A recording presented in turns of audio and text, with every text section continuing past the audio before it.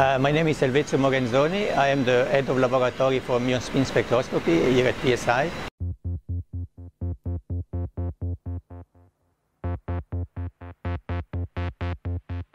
So we are now in the experimental hall. Uh, there in the corner there is the cyclotron, uh, the proton accelerator, which accelerates protons up to 600 MeV. Uh, this is the most powerful uh, cyclotron of this time, uh, type worldwide. It produces more than 2 milliamp proton currents. Uh, the protons are then uh, transported along this channel here. And in this channel, there are two so-called production targets. Uh, the protons um, traversing this target, they make a nuclear reaction where uh, pions are produced, and out of the pion decay, uh, we obtain the muons. Uh, and then these muons are then collected in the different uh, beam lines where the instruments for μSR are, but there are also experiments in particle physics are then performed. Uh, PSI is a so-called as a so-called continuous muon beam. So this is different from a pulse machine as ISIS, for instance. Continuous muon beams it means that uh, we obtain the muons one by one. Uh, we don't have a bunch in a in a part. So we have to uh, for a μSR experiment, since we need the implantation time, we have to detect each muon singularly. Uh, this has the advantage that you can do this with very high uh, time resolution, and this allows to uh, then uh, perform experiments with where you need very good time resolution. This is, for instance, the case in high field where you have large high precession frequencies.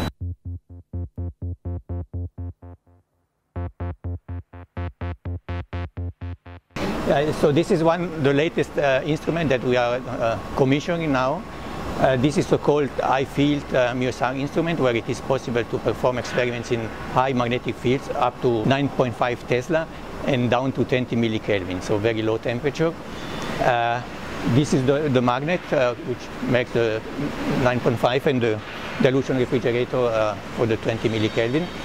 And um, this is a very demanding instrument because uh, in, in about 10 Tesla, the muon spin precession frequency is very high, so you need uh, to measure the muon spin precession, you need a very good time resolution. So this needs a special detector system, and this has been developed uh, within uh, JRA.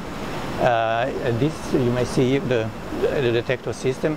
Uh, it is it has to be very compact uh, because the the positrons emitted from the muons they are on a spiral with a very small radius in 10 Tesla, so you have to have the detector very close to the sample it has to have a very good time resolution, so better than 100 picoseconds, and it has to work in, in a large magnetic field as uh, 10 Tesla. And this has been developed within uh, JRA. And this took several years, uh, but now we have a system really having this performance.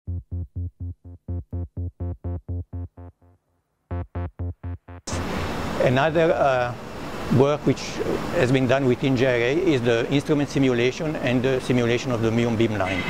Uh, so this is also quite demanding because you have to bring these muons in the 10 Tesla field.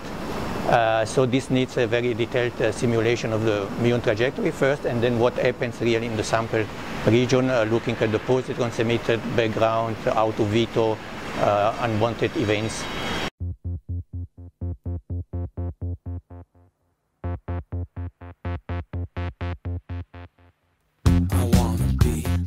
Just like you.